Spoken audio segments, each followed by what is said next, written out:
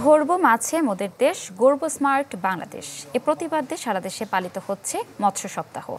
সকালে ময়মনসিংহের র্যালি, আলোচনা সভা ও পুরস্কার বিতরণ করা হয়। এ সময় নিজ কার্যালয়ের পুকুরে মাছের পোনা অবমুক্ত করেন জেলা প্রশাসক। বাগেরহাটে জেলা পরিষদ অডিটোরিয়াম চত্বরে বেলুন ও পায়রা উড়িয়ে মৎস্য সপ্তাহের উদ্বোধন করা হয়। পরে হয় আলোচনা সভা। এছাড়া মুন্সীগঞ্জ, পাবনা, গাইবান্ধা, ভোলা, রাজবাড়ী, সাতক্ষীরা নেত্রকোনা সহ বিভিন্ন জেলায় পালিত হচ্ছে জাতীয় মৎস্য সপ্তাহ।